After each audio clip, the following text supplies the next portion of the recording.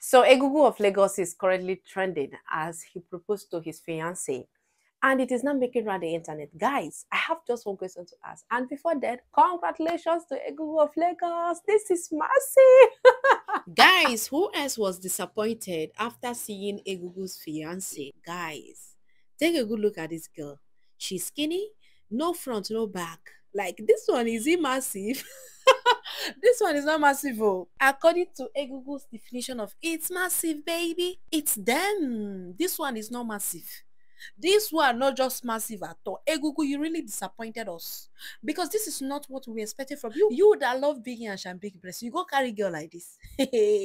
Somebody that is just skinny, nothing, nothing, no front, no back. Egungun, is it not you again? Well, I'm kidding. But anyways, well, I'm kidding. But guys, this should sound as a lesson to young girls. Those of you that were exposed to your breasts and yash to go to a Google's interview.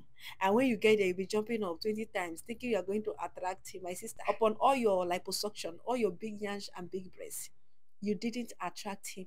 Let me tell you something. You see girls with their natural body, they are still winning, no matter how much you are going to argue about it. Girls with their natural body, they are still winning.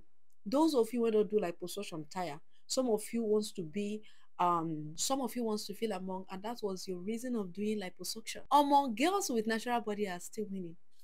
Those of you that he used to go viral he used to create content and make money. He used your big breasts and big yams to create content and make money for him and his slim skinny wife to enjoy. Some of you girls don't want to learn. This should be a lesson to all of you. All of you that doesn't even know what you want in life. Yes you don't know what you want. Upon all Egungun's love for big yash and big breasts, now he wants to get married. He went for a girl that is reserved, decent, and well behaved. You must ask me, how do I know that she's reserved? Yes, she is. Men looking at this girl, even on that her engagement day, see, look at the dress she wore. She didn't wear the one that is revealing all her breasts. She didn't wear the one that is revealing all her laps. She didn't wear the ones that it that that is revealing her, her nipples.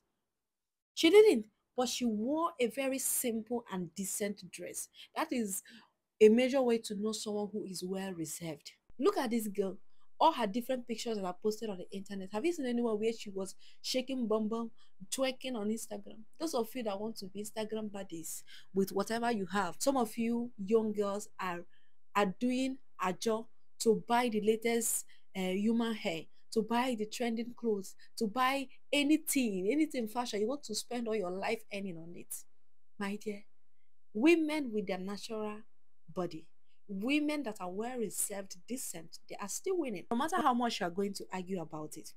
Women, take care of yourself. Stop doing too much to please man when who send you. Stop doing too much to please men. Oh, they don't send your papa. You know, Egungun upon all his love for big yansh and big breast. Now he wants to get married. He went for a reserved girl. That is how most men are. No man eats an uncovered food. And that is the truth. No matter how much we are going to judge it with our level of civilization, the truth remains that men go for decent women. And that is on period, baby. Yo, it's massive.